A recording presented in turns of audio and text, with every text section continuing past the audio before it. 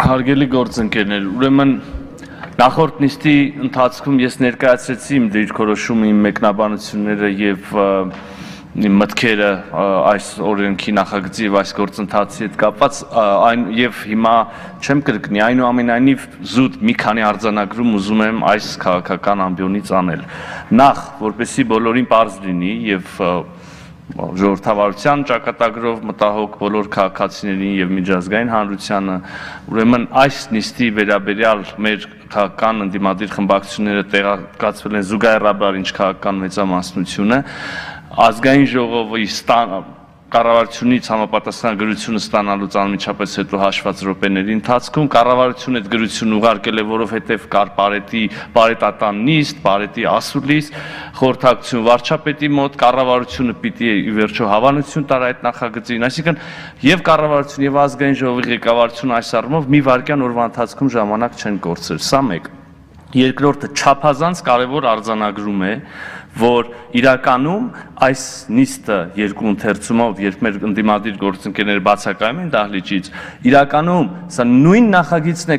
քննարկվում, ինչ որ նախորդ նիստի նույն տառացիորեն, ինչ որ նախորդ նիստի ընթացքում եւ այդ քննարկումը կրկին պիտի բարձրաձայնեմ անպայման տեղի ունեցել ընդդիմադիր գործընկերների ներկայությամբ, ընդդիմադիր գործընկերների մասնակցությամբ եւ նախագիծը իրենց կողմից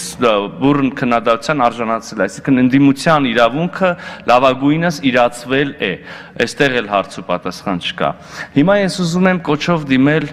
մեր քաղաքացիներին, որպեսզի կառավարության եւ քաղաքական մեծամասնության գործողությունները առավել հասկանալի լինեն։ Միան անգամ էլ Հայաստանը, ինչպես եւ աշխարհը, նույնը չի ինչ որ ամիս ու կես առաջ։ Կառավարության նպատակներն էլ, գործելավոճն էլ, մեթոդաբանությունը նույնը չի ինչ որ ամիս ու կես առաջ։ Լավ ակնհայտ է, չէ՞։ Կարծում եմ ակնհայտ է, որ այս օրինագիծը կառավարությունը կյանքի է կոչում եւ իր քաղաքական մեծամասնությունը կյանքի է կոչում իր քաղաքական հեղինակության հաշվին եւ իր վարկանիշի հաշվին։ Այստեղ երկրորդ կարծիք չի լինում ակնհայտ է, որ այս այլ այլ միջոցառումները, որոնք կարվեն, որոնք ծայրահեղ են, արտակարգ են, արտառոց են, որ եւ նպատակ ունեն մարդկանց կյանքեր փրկել, լինելու են քաղաքական իշխող ուժի հեղինակության հաշվին։ Մենք ամեն վարքյան այս միջոցառման արդյունքում մենք կորցնելու ենք մեր հեղինակությունը, բայց մենք փրկելու ենք մարդկային կյանքեր։ Սա է դրված սեղանին, սա է քննարկվում։ Եվ գիտեք, կառավարությունը, եթե նույնիսկ չգիտեմ, մանանայել իջեցնի երկնքից, հիմա ինչ ջանքեր էլ գործադրի, այդ բոլորը անիմաստ կլինեն, եթե քաղաքացիները թարաշ չգնան այս քաղաքականությանը։ Եթե կառավարությունը ոստիկաններով անգամ ամեն բակ կարողանա ոստիկան ուղարկի եւ հորդորի եւ կարողանա ապահովել, որ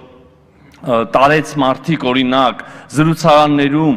խաղեր չխաղան, միասին չշփվեն, այլ մնան տանը, եթե այդ մարդիկ չուզենան, այդ մարդիկ չընթարկվեն, չգնան, ոչ մի ջանք կառավարության չի չի օգուտ տա։ Եվ հիմա այս նախագիծը, ես մի քիչ հնարավորություն ունեցա Facebook-ը թերթել այս ընդմիջման ընթացքում։ Մի բան ասեմ, խելագարվելու բան, խելագարվելու։ Գիտեք ինչ են առաջարկում։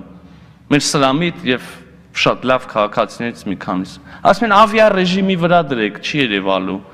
Ավիա ռեժիմի վրա դրեք, գնացեք հարսանիք։ Ինչ ասեմ։ Դες ոնց կլինի։ Սիրելի քաղաքացիներ, եւս մեկ անգամ կոչ եմ անում մի հատ էլ վերլուծել, սթափ գնահատել իրավիճակը եւ հետեւել բոլոր կանոններին, որոնք առաջարկում են կառավարությունը եւ բարետատունը։